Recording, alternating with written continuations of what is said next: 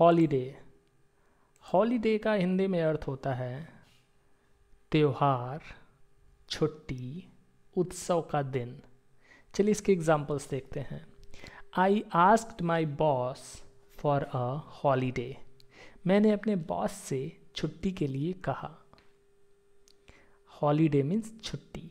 दूसरा एग्ज़ाम्पल है Sunday is a regular holiday रविवार को नियमित अवकाश है या छुट्टी है।